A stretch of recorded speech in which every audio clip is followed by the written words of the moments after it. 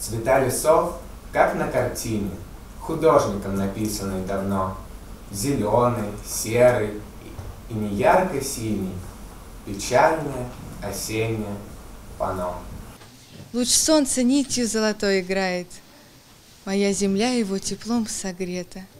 Когда с тобой я, сердце замирает, Ты мой счастливый уголок заветный.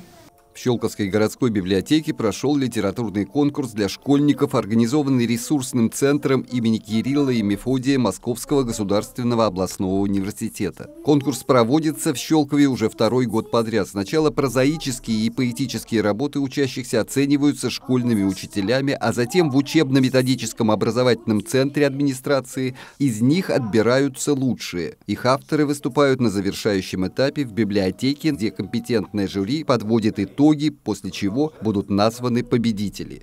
Им это нравится, это им интересно, и нам необходимо развивать эти способности у каждого ребенка. Кто-то может на публику декламировать свои э, те или иные произведения, а кому-то это тяжело. Вот на муниципальном этапе мы с вами увидели, что действительно очень разные детки, очень разен, разный уровень подготовки, но тот эффект и то желание и стремление каждого ученика, оно действительно очень велико. Мы должны дать возможность каждому ребенку раскрыться.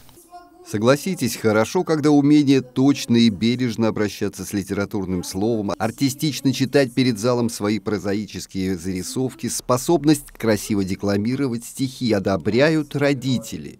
Я удивлена и очень рада. Мне безумно понравилось ну, не знаю, практически все, наверное, дети. И я счастлива, что такие талантливые дети, что у нас есть будущее.